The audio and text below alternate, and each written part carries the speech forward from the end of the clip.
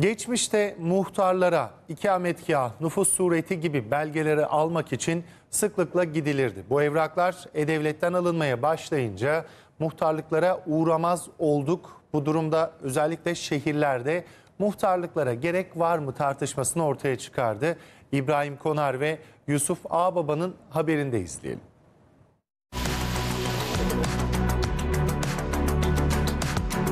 Çok sık gelmiyorum. E-Devlet üzerinden hallediyorum işlerimi zaten. Şimdi de kağıt gelmiş onu gelip aldım. Kimse muhtara gitmiyor ki. Çok işimiz düşmüyor şu an. Teknoloji gelişti, evraklar e-devlete sığdı. Özellikle şehirlerde tek tuşla bilgisayar başında işlerini halleden vatandaş, muhtarlıkların kapısını açmaz oldu. Muhtarlarsa tek işimiz evrak vermek değil dedi. Muhtarlık evrak veren bir makam değildir. Dert dinleme yeridir. Muhtarlık kurumuna gelen her bir vatandaşın muhtara sadece tebligat var mı diye değil, mahallesi içerisinde sayısızca sorunlar ileten yerdir. Tüm evraklar artık E-Devlet'ten temin ediliyor. Ancak E-Devlet kullanamayanların yolu yine muhtarlığa düşüyor. Onlarla birlikte diğer kurumlardan gelen tebligatlar için adres yine muhtarlıklar. İstanbul'daki muhtarların yükü daha fazla. Muhtarlıklarda her ne kadar eskisi kadar işimiz olmasa da bazı vatandaşlar o alışkanlığı devam ettiriyor. Emekli öğretmen İzzet Kahraman da sık sık muhtarlığa gidiyor. Herhangi bir evrak var mı onları soruyor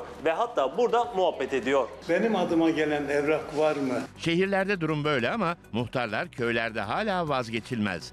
Kırsal kesimde birçok sorunun çözüm adresi muhtarlar. Düşünün bir köy, köy sahipsiz olur mu? Asla olmaz. Köylerde etkin muhtarlık kurumunun ne iş yaptığını bilmeyen noktasına yeni gelen bir gençlik anlayışı var. Köylerde nikahları bile muhtarların kıydığı zamanlar vardı.